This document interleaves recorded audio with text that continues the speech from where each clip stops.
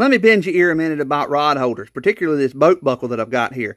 Now, this is a nice rod holder. It holds the rods adequately off the side of the boat, and it holds them nice and firmly, but it's engineered stupidly. Look at this thing. It's got a slot right here for the tip of a rod. Then it's got a slot for a butt, rod, tip, butt, tip, butt. On the other end, it's exactly the same. Tip, butt, tip, butt, tip, butt. Why isn't the butt section up here up top, then a tip, then a butt, then a tip, and that way you got tip, butt, tip, butt, tip, butt. That way you don't have to offset them in height.